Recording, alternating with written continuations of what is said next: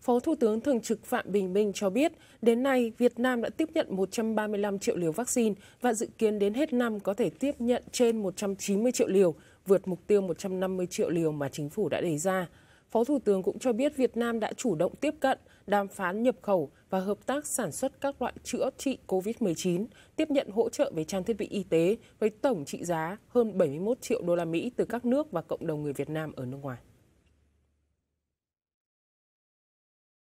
Theo dữ liệu trên cổng thông tin tiêm chủng COVID-19, tính đến chiều ngày 15 tháng 11, cả nước đã tiêm được sấp xỉ 100 triệu liều vaccine phòng COVID-19. Trong đó tỷ lệ tiêm một liều khoảng 87% số dân, tỷ lệ tiêm đủ hai liều vaccine là 47% dân số từ 18 tuổi trở lên. Hiện có 16 tỉnh thành phố có tỷ lệ bao phủ một liều vaccine cho hơn 95% dân số từ 18 tuổi trở lên.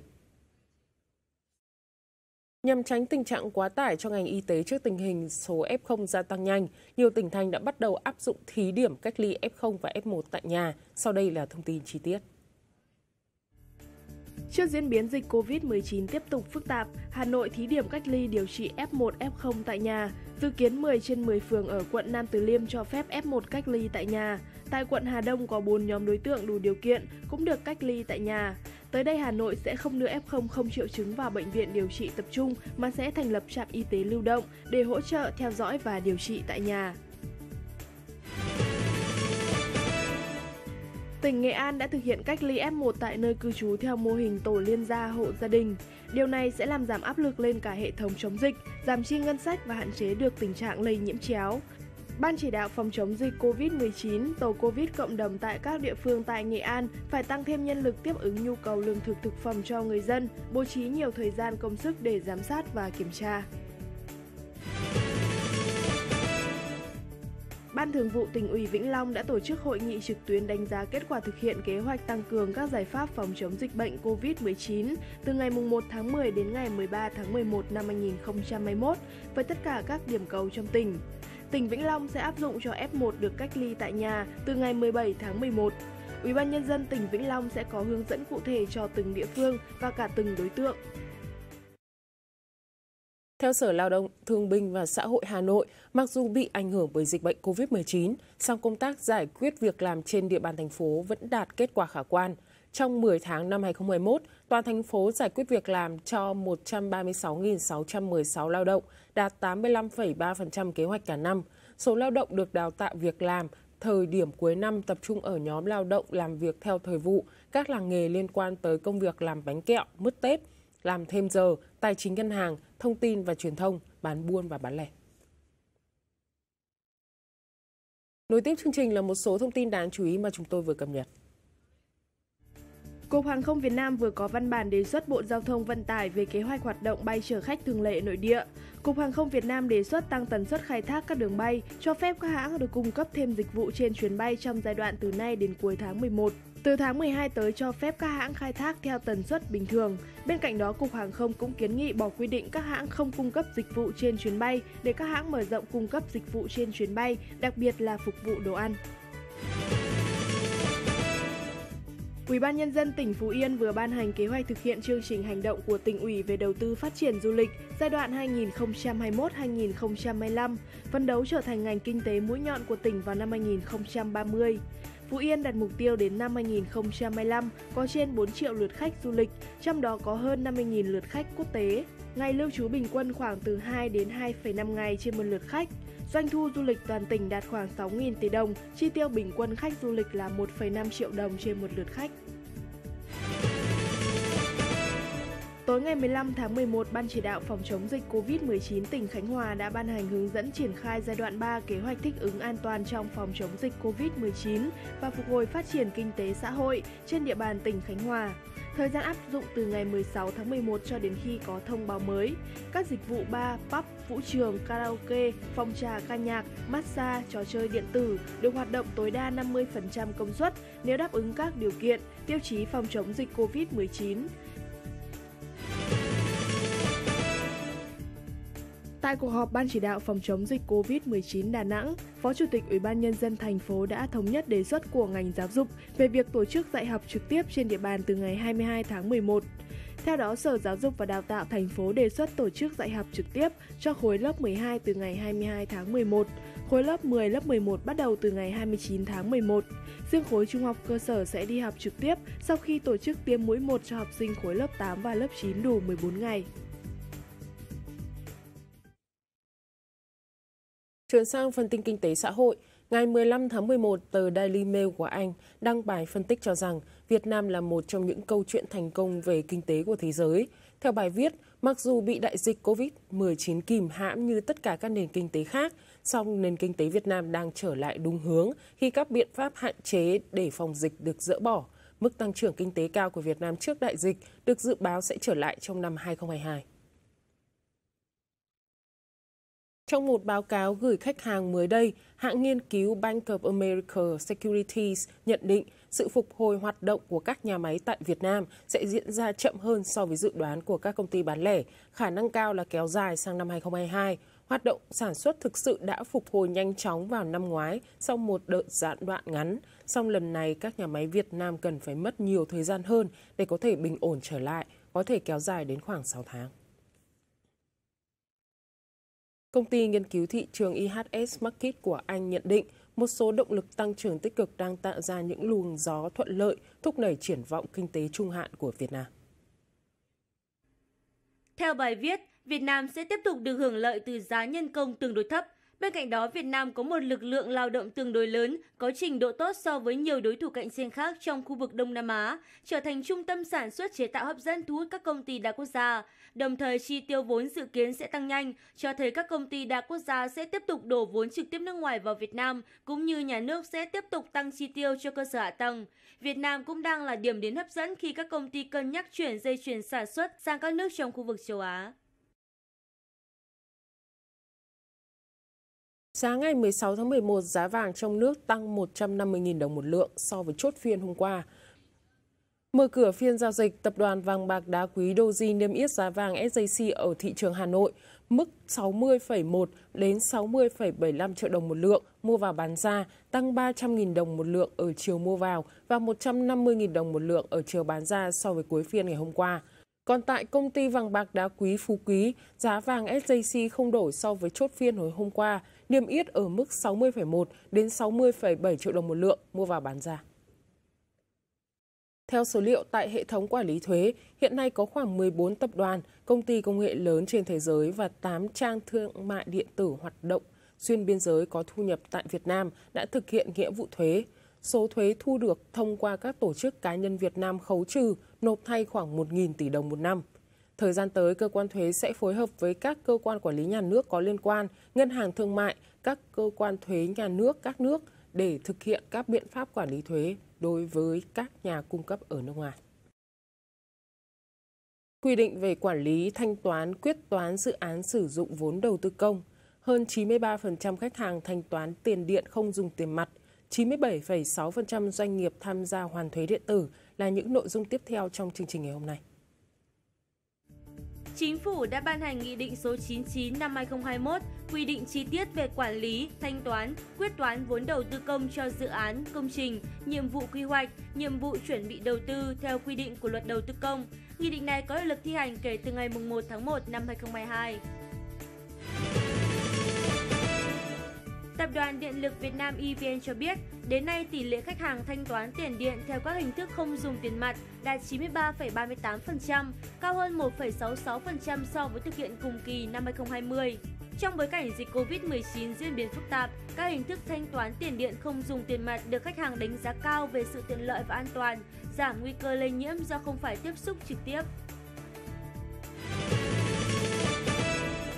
Theo Tổng cục Thuế, tính đến ngày 19 tháng 10 năm 2021, số doanh nghiệp đã đăng ký tham gia sử dụng dịch vụ nộp thuế điện tử với cơ quan thuế là 837.347 đơn vị trên tổng số 844.250 doanh nghiệp đang hoạt động, đạt tỷ lệ 99,2%. Tính từ đầu năm 2021 đến nay, tổng số doanh nghiệp tham gia hoàn thuế điện tử là 8.203 trên tổng số 8.402 doanh nghiệp hoàn thuế, đạt 97,6%.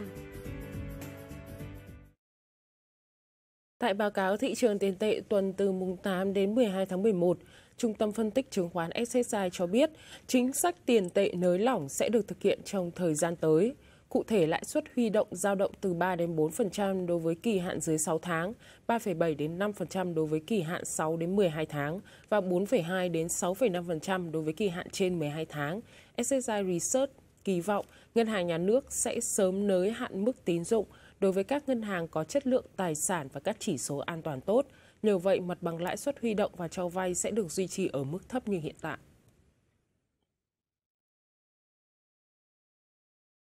Dẫn số liệu tổng hợp của công ty cổ phần chứng khoán VN Direct, Bộ Xây dựng cho biết trong quý 3 năm 2021, tổng giá trị trái phiếu doanh nghiệp phát hành đạt mức 111.744 tỷ đồng, giảm 25% so với các quý trước. Trong đó thì bất động sản là ngành chiếm tỷ trọng lớn nhất, chiếm 46,8% tổng giá trị phát hành, tương đương với 52.287 tỷ đồng, tăng 60,2% so với quý trước. Trang Foreign Brief của Australia ngày 15 tháng 11 đăng bài phân tích cho rằng Việt Nam là một trong những câu chuyện thành công về kinh tế của thế giới. Theo đó, đất nước đạt mức tăng trưởng kinh tế hàng năm từ 7 đến 8%. Thị trường chứng khoán Việt Nam cũng nằm trong số những thị trường hoạt động tốt nhất ở châu Á, tăng hơn 30% trong năm nay, bất chấp bối cảnh kinh tế đầy thách thức.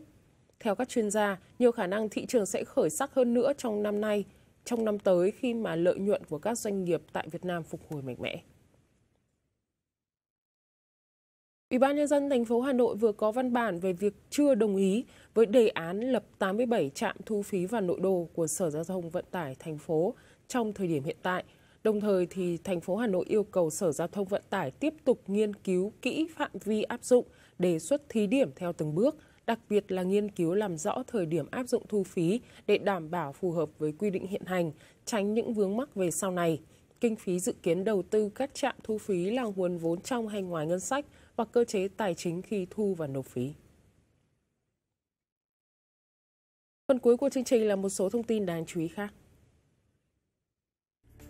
Số liệu vừa được Tổng cục Hải quan công bố tổng giá trị xuất nhập khẩu hàng hóa cả nước trong tháng 10 năm 2021 đạt 55 tỷ đô la Mỹ, tăng 2,4% so với tháng trước. Cán cân thương mại của Việt Nam sau 10 tháng đã đảo chiều ngoạn mục, xuất siêu 125 triệu đô la Mỹ chứ không còn thâm hụt 1,45 tỷ đô la Mỹ như ước tính trước đó. Đây là một tín hiệu tích cực của nền kinh tế, cho thấy xuất khẩu tiếp tục đạt được tốc độ tăng trưởng tốt khi nhu cầu thị trường toàn cầu đang dần hồi phục. Theo Hiệp hội Dệt may Việt Nam, tổng kim ngạch xuất khẩu dệt may trong 10 tháng năm 2021 của Việt Nam ước đạt 32 tỷ đô la Mỹ, tăng trưởng 10,8% so với cùng kỳ. Ước tính cả năm Việt Nam sẽ xuất khẩu được 37,92 tỷ đô la Mỹ, tăng trưởng 8,1% so với năm trước. Đáng chú ý xuất khẩu vải và sơ sợi đạt kim ngạch lớn nhất từ trước đến nay, trong đó xuất khẩu sơ sợi 10 tháng ước đạt gần 4,5 tỷ đô la Mỹ và dự kiến sẽ đạt khoảng 5,3 tỷ đô la Mỹ cho đến cuối năm. Theo Bộ trưởng Bộ Giao thông Vận tải Nguyễn Văn Thể, trong 11 dự án thành phần cao tốc Bắc Nam phía Đông giai đoạn 2017-2020, hiện nay chỉ còn 3 dự án thành phần đầu tư theo hình thức đối tác công tư PPP gồm Diễn Châu Bãi Vọt, Nha Trang Cam Lâm và Cam Lâm Vĩnh Hảo. Từ tháng 5 đến tháng 7 năm 2021, Bộ Giao thông Vận tải đã ký hợp đồng với các nhà đầu tư của 3 dự án. Theo quy định của hợp đồng, các nhà đầu tư có thời gian 6 tháng để thu xếp vốn. Đến thời điểm này, một số dự án sắp đến hạn 6 tháng, nhưng tình hình thu xếp vốn của các nhà đầu tư vẫn gặp nhiều khó khăn.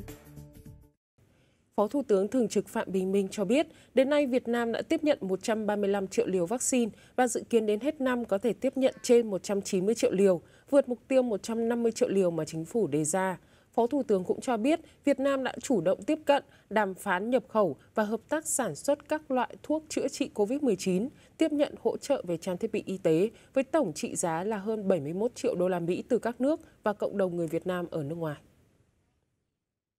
Bộ Y tế vừa có văn bản hỏa tốc gửi bí thư các tỉnh ủy, thành ủy trong cả nước nhằm đẩy nhanh tiến độ tiêm chủng vaccine phòng COVID-19. Theo đó, các sở y tế phải đề xuất nhu cầu cần cấp vaccine từ nay đến cuối năm để bao phủ đủ mũi cho toàn bộ đối tượng từ 18 tuổi trở lên, trẻ em từ 12 đến 17 tuổi trên địa bàn và nhu cầu vaccine năm 2022, báo cáo Bộ Y tế trước ngày 20 tháng 11 năm nay.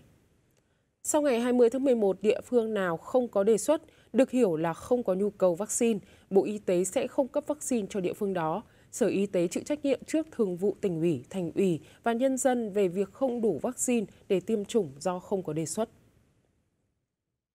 Bộ Y tế cũng cho biết sẽ thông báo công khai những địa phương có tiến độ tiêm chủng, tỷ lệ bao phủ vaccine thấp, đồng thời trên trang cổng thông tin điện tử chiến dịch và các phương tiện thông tin đại chúng. Đây là nhiệm vụ quan trọng và cấp bách, Bộ Y tế đề nghị bí thư các tỉnh ủy, thành ủy chỉ đạo Sở Y tế thực hiện. Trong tháng 11, địa phương nào không đảm bảo tỷ lệ phủ vaccine phải chịu trách nhiệm về việc chậm trễ trong tiêm chủng. Ngày 15 tháng 11, Hà Nội ghi nhận thêm 289 ca COVID-19, trong đó có 47 ca cộng đồng và 242 ca trong khu cách ly và phong tỏa. Dự kiến 10 trên 10 phường ở quận Nam Từ Liêm cho phép F1 cách ly tại nhà. Tại quận Hà Đông, có 4 nhóm đối tượng đủ điều kiện cũng được cách ly tại nhà. Tới đây, Hà Nội sẽ không đưa F0 không triệu chứng vào bệnh viện điều trị tập trung mà sẽ thành lập trạm y tế lưu động để hỗ trợ theo dõi và điều trị tại nhà. Theo Bộ Giao thông Vận tải, đa số các nhà đầu tư PPP hiện nay là các nhà thầu nên năng lực còn hạn chế, đầu tư vài dự án có thể hết vốn, dẫn tới khả năng huy động tài chính gặp khó khăn. Trong 8 dự án thành phần cao tốc Bắc Nam giai đoạn 2017-2020 đầu tư theo hình thức PPP, có đến 5 dự án phải chuyển đổi sang đầu tư công do đấu thầu không lựa chọn được nhà đầu tư, làm chậm thời gian thi công. Hiện các dự án huy động theo hình thức PPP này vẫn đang gặp nhiều khó khăn về thu xếp vốn tín dụng do các ngân hàng thương mại thắt chặt tỷ lệ huy động vốn ngắn hạn cho vay dài hạn. Trong trường hợp không thu xếp đủ vốn, dự án PPP sẽ phải chuyển đổi hình thức đầu tư và dẫn đến kéo dài, chậm tiến độ so với kế hoạch đề ra, gây cản trở phát triển kinh tế tế xã hội. Bộ Giao thông Vận tải cũng kiến nghị chính phủ báo cáo Quốc hội cho phép áp dụng tỷ lệ vốn nhà nước tham gia 4 dự án thành phần PPP từ 54 đến 65% tổng mức đầu tư của dự án, giao chính phủ báo cáo Ủy ban Thường vụ Quốc hội xem xét quyết định việc chuyển đổi hình thức đầu tư trong trường hợp triển khai các dự án thành phần theo phương thức PPP không thành công. Trong trường hợp đấu thầu không lựa chọn được nhà đầu tư sẽ phải báo cáo cấp có thẩm quyền, chuyển đổi sang đầu tư công, tiến độ kéo dài thêm khoảng 9 tháng. Trường hợp lựa chọn nhà đầu tư thành công nhưng không huy động được vốn vay, tiến độ sẽ kéo dài thêm khoảng 13 tháng so với phương án đấu thầu không lựa chọn được nhà đầu tư. Ngày 15 tháng 11, tờ Daily Mail của Anh đăng bài phân tích cho rằng Việt Nam là một trong những câu chuyện thành công về kinh tế của thế giới. Theo bài viết thì dù cũng bị đại dịch COVID-19 kìm hãm như tất cả các nền kinh tế khác trên toàn thế giới, song kinh tế Việt Nam đang trở lại đúng hướng khi các biện pháp hạn chế để phòng dịch được dỡ bỏ. Mức tăng trưởng kinh tế cao của Việt Nam trước đại dịch được dự báo sẽ trở lại trong năm 2022. Từ ngày 24 tháng 11, việc quản lý kiểm soát cam kết chi ngân sách nhà nước qua kho bạc nhà nước được thực hiện theo quy định tại thông tư số 89 năm 2021 do Bộ Tài chính mới ban hành. Bên cạnh đó, tất cả các khoản chi thường xuyên sử dụng kinh phí ngân sách nhà nước được cơ quan nhà nước có thẩm quyền giao dự toán ngân sách nhà nước hàng năm có hợp đồng mua bán hàng hóa, dịch vụ, xây lắp với giá trị từ 200 triệu đồng trở lên được thực hiện và thanh toán từ 2 năm ngân sách trở lên. Mời quý vị cùng đến với những thông tin kinh tế đáng chú ý. Chính phủ đã ban hành Nghị định số 99 năm 2021 quy định chi tiết về quản lý, thanh toán, quyết toán vốn đầu tư công cho dự án, công trình, nhiệm vụ quy hoạch, nhiệm vụ chuẩn bị đầu tư theo quy định của Luật Đầu tư công. Nghị định này có hiệu lực thi hành kể từ ngày 1 tháng 1 năm 2022. Tập đoàn Điện lực Việt Nam EVN cho biết, đến nay tỷ lệ khách hàng thanh toán tiền điện theo các hình thức không dùng tiền mặt đạt 93,38%, cao hơn 1,66% so với thực hiện cùng kỳ năm 2020. Trong bối cảnh dịch Covid-19 diễn biến phức tạp, các hình thức thanh toán tiền điện không dùng tiền mặt được khách hàng đánh giá cao về sự tiện lợi và an toàn, giảm nguy cơ lây nhiễm do không phải tiếp xúc trực tiếp. Theo Tổng cục Thuế, tính đến ngày 19 tháng 10 năm 2021, số doanh nghiệp đã đăng ký tham gia sử dụng dịch vụ nộp thuế điện tử với cơ quan thuế là 837.347 đơn vị trên tổng số 844.250 doanh nghiệp đang hoạt động, đạt tỷ lệ 99,2%. Tính từ đầu năm 2021 đến nay, tổng số doanh nghiệp tham gia hoàn thuế điện tử là 8.203 trên tổng số 8.402 doanh nghiệp hoàn thuế, đạt 97,6%. Mở cửa phiên giao dịch sáng nay ngày 16 tháng 11, tập đoàn vàng bạc đá quý Doji niêm yết giá vàng SJC ở mức 60,1 đến 60,75 triệu đồng một lượng mua và bán ra, tăng 300.000 đồng một lượng ở chiều mua vào và 150.000 đồng một lượng ở chiều bán ra so với cuối phiên hôm qua. Trong khi đó, thì giá vàng SJC được công ty vàng bạc đá quý Sài Gòn niêm yết ở mức 60,25 đến 60,97 triệu đồng một lượng, mua vào bán ra tăng 150.000 đồng một lượng ở cả chiều mua vào và chiều bán ra so với đóng cửa phiên ngày hôm qua. Sáng nay ngày 16 tháng 11, trong khi tỷ giá trung tâm tăng nhẹ sau phiên giảm trước đó, thì giá mua bán bạc xanh tại hầu hết các ngân hàng ít biến động so với cuối phiên trước.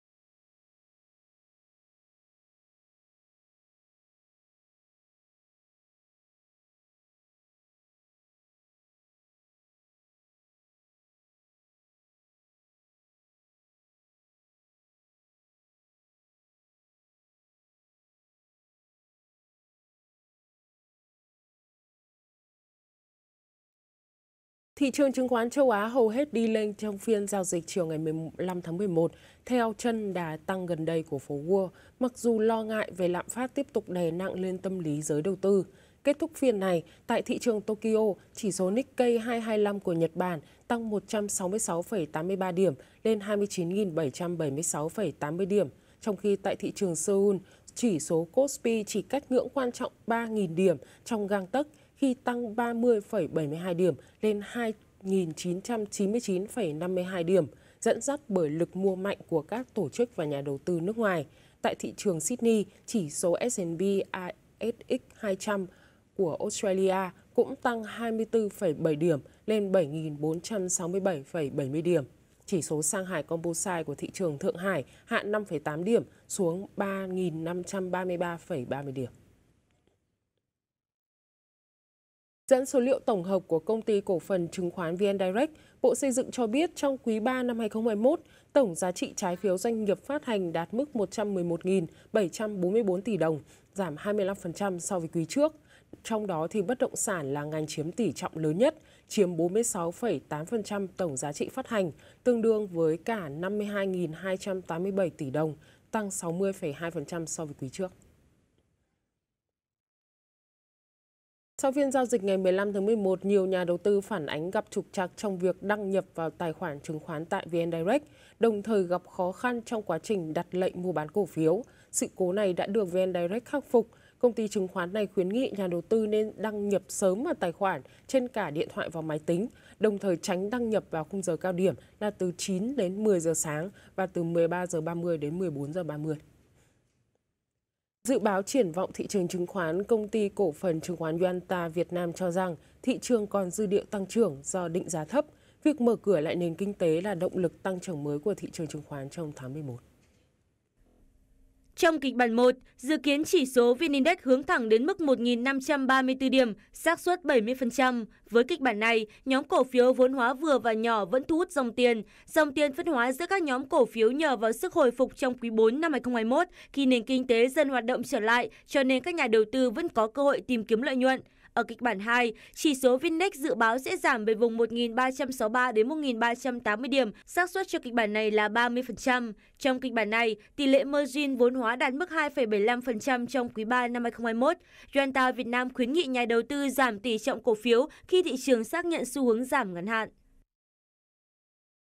Chuyển sang phần tin tức quốc tế, phát ngôn viên Nhà Trắng cho biết hôm nay Tổng thống Mỹ Joe Biden và Chủ tịch Trung Quốc Tập Cận Bình sẽ có cuộc gặp trực tuyến. Tổng thống Mỹ trong cuộc gặp sẽ làm rõ các ý định, ưu tiên cũng như các lo ngại của Mỹ đối với Trung Quốc về vấn đề an ninh biển, nhân quyền, biến đổi khí hậu, kiểm soát COVID-19, các vấn đề về an ninh mạng, thương mại, không phổ biến vũ khí hạt nhân cũng được dự kiến thảo luận. Còn về phía Trung Quốc cho biết sẵn sàng thảo luận với Mỹ để quan hệ hai nước đi đúng hướng và sự hợp tác là lựa chọn đúng đắn nhất. Cho dù kết quả cuộc gặp như thế nào thì việc hai lãnh đạo của hai nước gặp nhau thảo luận đã chuyển đi một thông điệp quan trọng về việc hàn gắn lại quan hệ hai bên vốn ở mức thấp nhất trong vài năm gần đây. Trong tuyên bố ngày 15 tháng 11, người phát ngôn điện Kremlin cho rằng Nga có thể giúp giải quyết cuộc khủng hoảng di cư ở biên giới Belarus, Liên minh châu EU với tư cách là trung gian trong bối cảnh căng thẳng giữa hai bên leo thang trong thời gian gần đây. Ngoài ra, Moscow khẳng định tuyên bố của Bộ Ngoại giao Mỹ về việc Belarus đang gây nên cuộc khủng hoảng di cư để đánh lạc hướng sự chú ý của các nước khỏi hành động của Nga ở biên giới Ukraine là không chính xác. Trong ngày 15 tháng 11, thì Nga cũng bắt đầu tiến trình bàn giao hệ thống tên lửa phòng không tầm xa S-400 cho Ấn Độ theo một hợp đồng mua bán trị giá 5,5 tỷ đô la Mỹ được ký năm 2018. Việc bàn giao được thực hiện ngay trước thềm chuyến đi thăm New Delhi của Tổng thống Nga và có nguy cơ kích hoạt một lệnh trừng phạt từ Mỹ nhằm vào quốc gia Nam Á này. Trong tóm tắt đánh giá rủi ro về tình hình dịch bệnh ở châu Âu, Trung tâm Kiểm soát Dịch bệnh ở châu Âu nhấn mạnh tình hình dịch tễ họng ở EU hiện nay nổi bật là sự gia tăng nhanh chóng và đáng kể các ca bệnh, tỷ lệ tử vong thấp. ECDC cho biết số lượng các ca bệnh người nhập viện và số người chết dự kiến sẽ tăng trong hai tuần tới. Trong số 27 quốc gia thành viên, thì Bỉ, Hà Lan, Ba Lan, Bulgaria, Croatia, Cộng hòa Séc, Estonia, Hy Lạp, Hungary và Slovenia nằm trong danh sách rất đáng lo ngại. Phần cuối của chương trình là một số thông tin quốc tế đáng chú ý. Trung tâm Kiểm soát và Phòng ngừa Dịch bệnh CDC Mỹ cho biết, tổng cộng Mỹ đã tiêm trên 553,88 triệu liều vaccine và phân phối hơn 439 triệu liều vaccine COVID-19. Trong 7 ngày qua, Mỹ đã triển khai hơn 9,5 triệu liều vaccine COVID-19. Đây là số liều vaccine được tiêm hàng tuần cao nhất ở nước này kể từ cuối tháng 5. Việc triển khai tiêm vaccine cho trẻ em từ 5 đến 11 tuổi trên diện rộng có thể đã đóng góp vào tổng số vaccine được tiêm trong tuần này. Tỷ lệ mắc COVID-19 trong 7 ngày qua của Đức đã tăng lên 277,4 ca trên 100.000 dân, cao hơn nhiều so với mức 197,6 trường hợp trên 100.000 dân trong đợt dịch thứ hai vào tháng 12 năm 2020. Thủ tướng Đức Angela Merkel cảnh báo nước này sẽ phải đối mặt với nhiều tuần khó khăn khi đợt dịch thứ tư đại dịch COVID-19 bùng phát vào mùa đông, đồng thời kêu gọi người dân nhanh chóng tiêm chủng để phá vỡ làn sóng dịch. Bên cạnh đó, dù là một trong những nước đầu tiên tại châu khởi động chiến dịch tiêm chủng, nhưng hiện tỷ lệ bao phủ vaccine của Đức chỉ là 67%, thấp hơn nhiều so với mức hơn 80% tại Bồ Đào Nha, Ireland hay 80% ở Tây Ban Nha. Hà Lan đã chính thức tái phong tỏa một phần, đặc biệt đối với lĩnh vực nhà hàng và các dịch vụ không thiết yếu để đối phó với số ca mắc COVID-19 đang tăng cao kỷ lục. Các biện pháp hạn chế mới sẽ có hiệu lực trong vòng 3 tuần. Theo đó, tất cả các quán bar, nhà hàng và các cửa hàng thiết yếu như siêu thị sẽ phải đóng cửa từ lúc 20 giờ hàng ngày, trong khi các cửa hàng không thiết yếu phải đóng cửa từ lúc 18 giờ hàng ngày. Tuy nhiên, trường học vẫn mở cửa và người dân vẫn được phép ra khỏi nhà.